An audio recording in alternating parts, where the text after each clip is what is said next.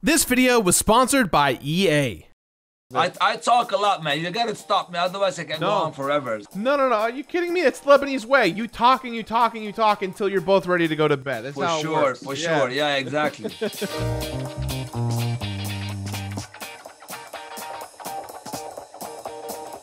you do? Do you understand when I say Arabic? Uh, A little bit. Not not enough. Your father should teach you.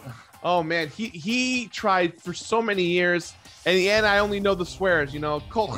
El Hastizi. The best swears in the world. Yeah. I love it. yeah. So the question I wanted to ask you was how does your Lebanese culture impact the games that you make and the stories that you tell, if they do? I mean, I mean, just the way I talk and my energy is very Lebanese, I would say. But yes. there are actually some specific stuff that happened to me in Lebanon that I've used in my creativity, both in my uh, movie making. I, I, Zozo is actually a film I made about my life, like uh, how I traveled from Lebanon to Sweden. That was Yeah. a big inspiration. And also my first game, Brothers, without spoiling it too much. Actually, there's a, spe- a specific scene that's very close to my heart, actually, that is in that game that happened in Lebanon. So there's definitely stuff that I experienced in Lebanon that I use in in, in, in, in both games and movies for sure. Uh, when you're creatively stuck, what do you do to get unstuck? If you're creatively blocked as a writer or something that you're doing alone, it's harder. But when you have a team around you, if you are blocked, then you can go to someone that's working on a particle effects or animation. Then that inspires you to something else. So, so it's easy when you're a bigger team. You don't get stuck as easy as you do if you're alone trying to figure something out. You know what I mean? I'm assuming that at Hazelight, you've worked with so many of the same people over the course of Yeah, many yeah. years.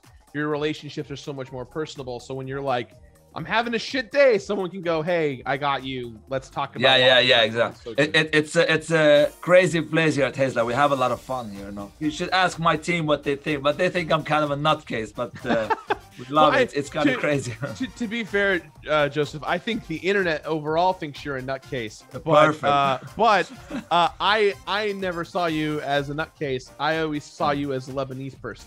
I, that's- Perfect. That's, yeah, the yeah. difference. A When- Lebanese yeah. nutcase. Perfect. Across the three games, visually, they're so different from one another. How Yeah. do you approach the visual design when when designing three three concepts like Brothers, A Way Out, and It Takes Two? I mean, it's it's not just the visuals; it's the way you play them as well. Hmm. So for us, it's very important. Like when when it, when it's a new game, it's it's it's it's more like fun, interesting, challenging to create something totally new from the beginning instead of just doing the same thing. So it's about challenging yourself, not only visually but mechanically, story-wise. I mean, if you look at the latest game, It Takes Two, we're doing kind of a rom-com, which hasn't really been done in gaming so much. So Yeah. it's all about when you like when you challenge yourself to do different stuff. That's I, I love that, and that's what we're keep, gonna keep doing. To do the, it's not it's not fun to do the same thing over and over again. You want to, to like change it up all the time and try new stuff, and that's also actually how you learn stuff by doing stuff that you're not so comfortable with. To be honest. Yeah, there's Hmm. there's this essence of uh, you know between I mean playing brothers and a way out. There's this almost like this sense of maturity and progression within both games. You know, you have a for more sure. And and even though both are uh, you know are kind of like about brotherly bonds and connections. Yeah. they're so just tonally different and and Yeah. they can exist in their own ways. You know, I was a big I was a big fan of, of brothers, and then you know when I saw the reveal of, of a way out. I, I I was almost like left brain, right brain. I just saw two Ah, yeah, yeah, different two different Yeah. pieces of a puzzle Yeah. that that uh you know just are so intrinsically tied in their in in their relationships. Yes, and here's the thing, you know, when we did our way out in the beginning, there was a lot of concerns like, can we only do co-op story? Will this work? Is there audience for it? Will people buy this, play this? But I mean, I'm actually surprised that I don't see more games like that today, because obviously, A Way Out has been a huge success. So there's definitely a market for it. So I wish there were more games like that. But because here's the thing, we love to experience stories together. It's always better to watch a movie together with someone than alone, like they're going to the cinema. So experiencing a great story together is something that should be so obvious. But I Oh, mean, yeah. so co-op games doesn't just. I mean, I'm not saying th- those co-op games should exist as well. Your typical drop in, drop out, leveling up, shooting. That's fine. But On the other hand, these story co-op games should exist as well because you want to experience stories together, and that's what we're focusing on. Yeah, you made you made a way out, and then you're making It Takes Two, and it feels like there's so much time and space between those two games and the market isn't flooded with with more co-op experiences which is a shame because especially now during the pandemic i think it might be that still people feel that uh, there's not really a market for it but i think mm-hmm. after this game i think publishers will feel like okay let's do this i think we, we're ready for this you know yeah. and who knows maybe some developers feels that it's only hazelight are masters at this let's not interfere with what they do the story Call. i don't know but i just I hope mean, more games like that come out so I mean, you know, what what do they say? Uh, imitation is the most, you know, of course, uh, is the biggest would, form of flattery, right? Trust me, I would be more than happy if more games are like that because that's what I want to play. That's if essentially that's what we're doing here. Like yeah. games that you want to play yourself, you know. So it yeah. takes two, a way out, brothers, game that you want to play, you know.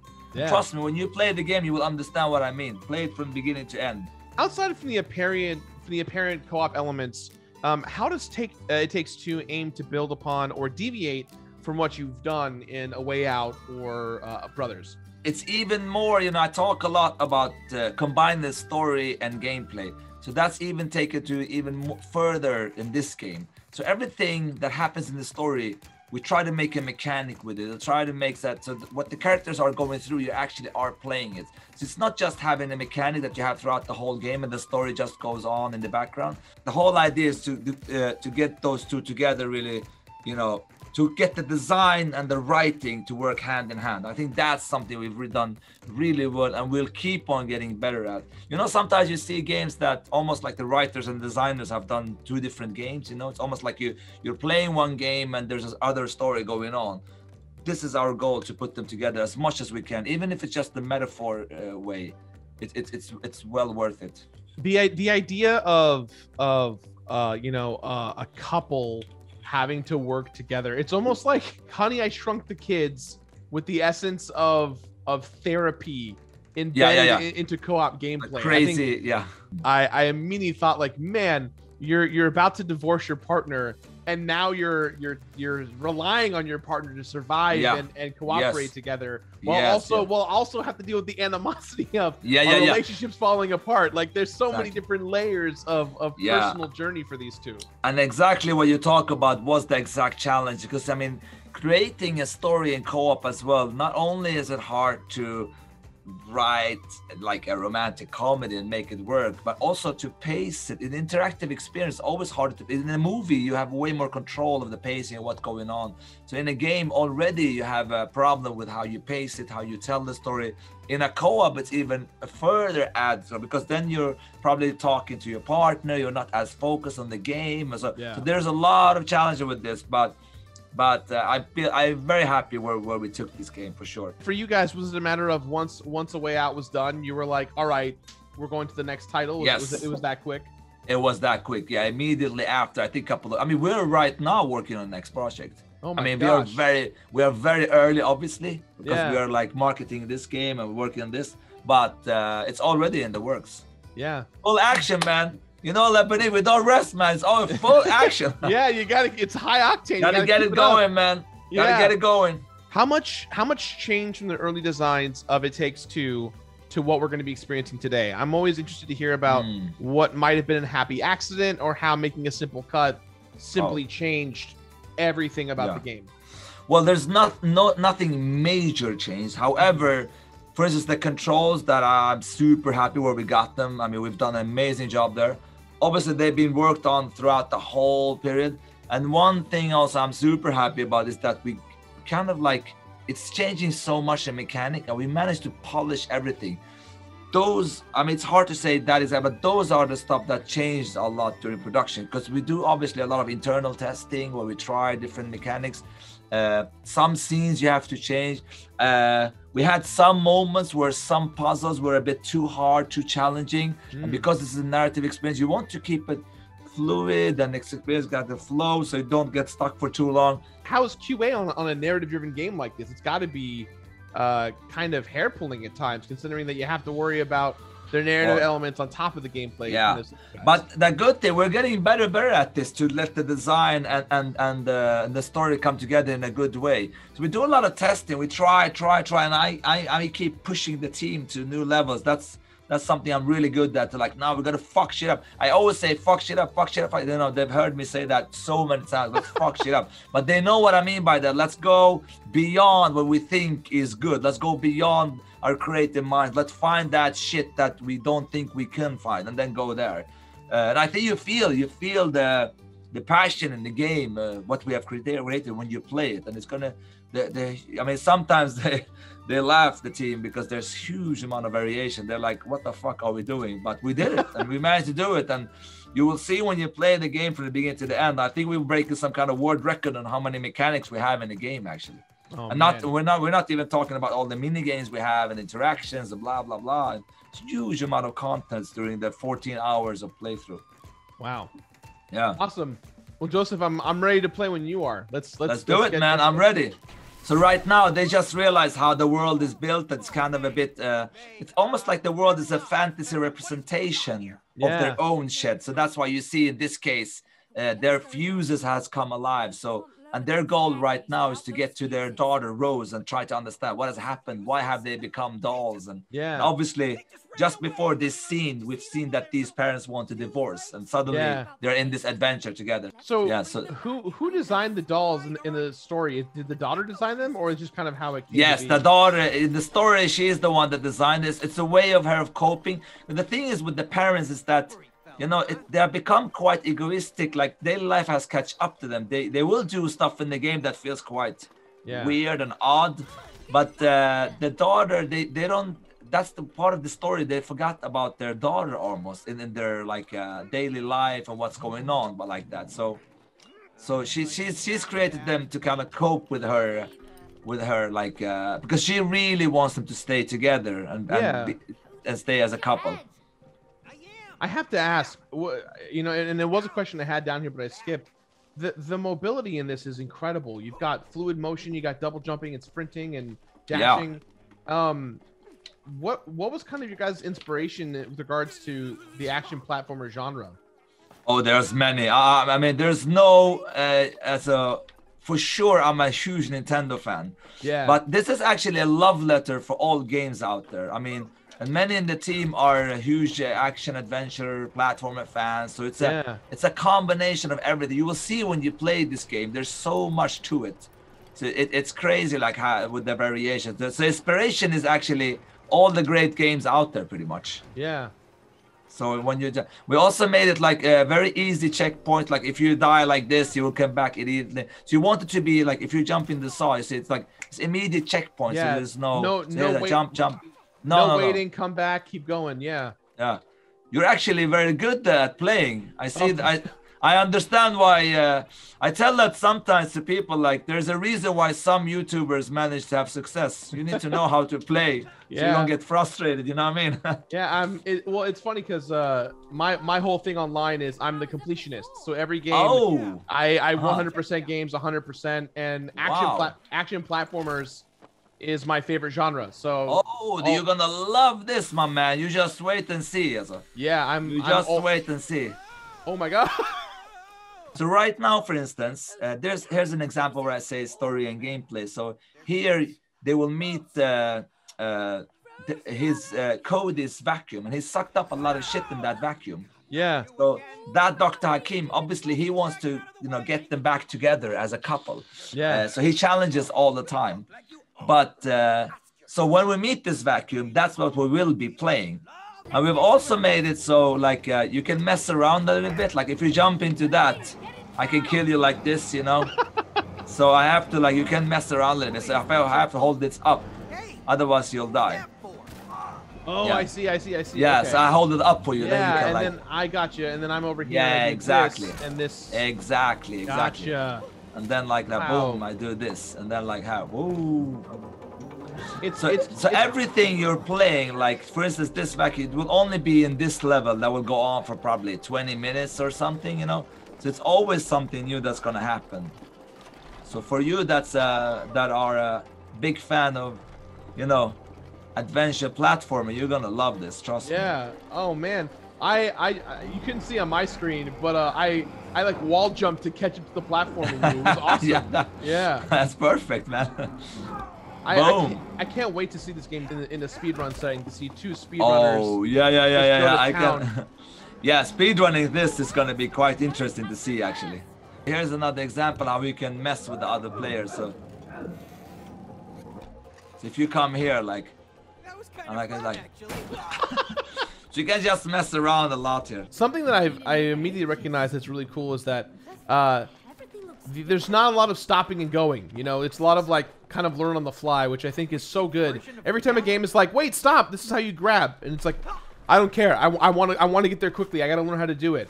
And I and already I can tell like that you guys have mastered the passive education without stopping gameplay flow. Yes, right now, look here. I have a hammer. It's May's hammer. It's her toolbox. Yeah. So again, like we're playing a different mechanic. I see I hammered you down actually. Yeah. We're playing a different mechanic because that's what the story takes us. And you have actually a nail. You can shoot at the spray can if you want. But I'm in charge of the nail. And then you can recall it with Y, like. Oh, cool. Yeah. The way that you guys do this, it seems very uh intuitive. Like exactly. The, the, the, the minute intuitive I saw, a... yeah, the minute I saw you uh, hit the switch, I knew exactly what to do. Cool. Now you see, you don't you don't have a hammer. Here's the thing with this game: almost all levels have a unique mechanic for every character. So depending on what character you're playing, you get a different experience. So here, yeah, I need another oh, nail here. Oh, fucking god, this is genius. There, boom. That's it. Here, I found another nail for you here. See? You're gonna... Let me help you over. Oh. So now you got two nails. But again, so what we're playing here is only for this level. So it's not like we're gonna get back to the hammer and nail, if you know what I mean. Yeah, yeah, yeah, yeah. That's the whole idea, to keep the experience fresh and unique. Yeah, you know, I remember I told you we have like almost 25 different minigames spread out in the world. Yeah. These are like uh, stuff throughout the world that we have spread out for you to, you know, to challenge you and to compete with each other. So it yeah. is a co-op game, but you will definitely have uh, scenarios where you actually play, uh, you know, against each other as well. So here you get like how oh. to do it. You're trying to hit me and I'm trying to avoid yes, you. Got it. Okay. Exactly, exactly. Yeah, yeah, yeah. And we have many of these minigames. There, some of them are like really crazy and complex and super cool. Yeah. And they're just optional, obviously. So I, I, I'm gonna hit you here. So, but you have to be up for a while, otherwise you don't get the point. Oh my gosh! Holy God! Ah, good, good. Oh, Boom! That's yeah. really cool. Yeah, there are many of them. We, I mean, we have some really cool mini games there. But it's not only also that the mechanic changes, also visually, it's something new for every yeah, level. Yeah, I, I, was gonna say something that that you know we we've seen so many um, atmospheres so far that uh, it's it's fascinating to see the colors. Like you know, it we started out in the, you know, the, the grim kind of shack, and now we're kind of in this very uh, lively, you know, uh, shrubbery based area. It's really cool. Oh, yeah. here we go. Yeah, this is just stuff, stuff interaction you have. You just throw them and interact with them. That's oh, again oh, what I say. Like we don't have a lot of collectibles. We just have like stuff you can interact with and do. Yeah. Uh, it's more fun to create a world that's alive and interesting and, and nice it feels so fast and so so fluid. I it yeah, and and I don't feel uh you know when you do, when there's a lot of cooperative platformers, there's this yeah. essence of like one of us is behind and we can't keep up. But the yeah. way that you guys do this, I I don't feel that nagging like grossness of oh I suck or oh I can't keep up. Yeah, it, feels that's cool, cool. We have to work together. It's not a it's not a, a competitive uh edge until the mini games, of course. Nice, nice. In their tree, the squirrels and the wasp has been fighting. They have almost a war between them. Yeah. And it's connected, so Cody and May have now to use the technology of the squirrels to take out the wasps. You know what I mean? So look, if I if I shoot my dad, boom, it explodes. We create ah, kind yeah. of explosion. So now again, you see all the hammer and vacuum, everything you have done is gone. So it's going to be something new. That's how the game will continue throughout the whole time. Yeah, and it's interesting because you're keeping the core mechanics the entire time. The double jump is still there. The dash is still there. Yeah, yeah, of course, of course. The actual movement is there. Yeah. But the mechanic itself changes. Mm-hmm. It's incredible how how you guys have just taken this approach of like, it seems like nothing's off the table. Like there's there's no limitations. No, no, for sure. So we can go here. Uh, I'm gonna show you a little bit more stuff. I'm rushing you a little bit right now, but oh, it's, it's to show you everything. Of course. I am like in the shooting. You're oh, flying. I'm, I'm flying it. Okay. Yeah. Yeah, you can boost with the, you know, like you can boost with the plane. Watch out! Watch out! Watch out! Oh, that was a close one. Without going too much details, you see that the airplane is made actually of Cody's uh, underpants. Yeah, yeah, yeah. There's a because these squirrels actually steal stuff from their house, you know, so that's why. You're you're doing great. You're you're paving the way for me. No no yep. at all. Yeah, yeah, yeah. I'm, I'm trying to, I'm trying to make you look like a great gamer, man. Oh shit! these squirrels are quite crazy, man. Yeah, man, they, they're relentless. They don't stop. Yes, for sure. Yeah, they are like, oh shit, they're everywhere. Oh shit. Okay. oh, one. the door, the Boom. door. Oh shit! Oh my god! Oh shit! shit! Shit! I forgot. No, I had okay. enemy. I had enemy. Yeah, okay, yeah, we still yeah, have health. We're good. We're okay, good. We're good. Okay. All right. Shit. Shit. Yeah. You see, you need to. You really need to. I, I need to communicate. Yeah, I got to tell you what's exactly. going on. so here, what I'm gonna show you, like here, here comes the squirrel sheaf, and don't forget to control the plane now. You still need to get it. Gotcha. Okay. I, I will be up here now. Oh my god, are you about to fight the squirrel? I'm. Yes. Look oh, at this. All right, you ready? Yeah. Control the plane. it's a fighting game. Yeah, exactly. No, that's incredible. yeah, it's so cool. Uh, let me show you here. What, oh shit, he does kind of a Hadouken shot. Oh, oh shit. Yo, that that Zangief squirrel's trying to grab yeah, yeah, me, man. I'm gonna show you here. Wait. Oh shit, here's a tough one. oh shit. Oh shit. Look here. Oh my god, yes. And this goes on. I mean, imagine yes. all the work done here, KO. yeah, so. Oh my god. Yeah, that's it, I think. So and it's gonna continue like this throughout yeah. the whole game. It's it's crazy, man. It's crazy. Just wow. make sure to play with someone you love and enjoy the ride. Absolutely. You will have an experience like you've never had before, an extremely unique, variated, and you will never get tired of this game. Trust me.